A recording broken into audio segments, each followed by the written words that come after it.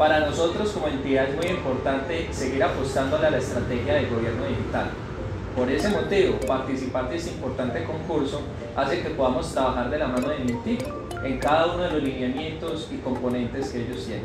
Soñamos y venimos trabajando en temas como la arquitectura empresarial, trámites en línea, diferentes estrategias de participación ciudadana y datos abiertos. Y todos estos retos que se proponen desde máxima velocidad contribuirán a nuestro propósito de hacer de la estrella un territorio digital inteligente.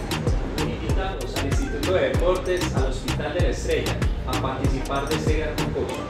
Anímense y hagamos nuestro territorio en una ciudad participativa,